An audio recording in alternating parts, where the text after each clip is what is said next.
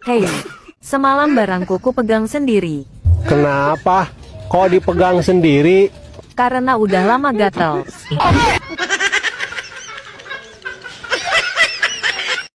Waduh, sarang burungku sekarang jadi gondrong.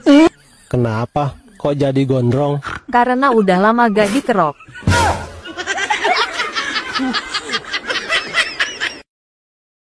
Sayang, abang memang tidak punya pegangan hidup. Tapi abang punya yang dipegang hidup.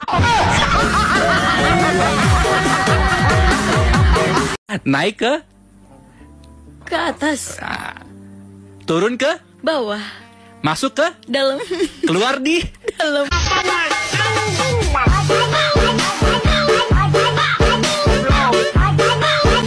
Sayang, aku lagi kepengen.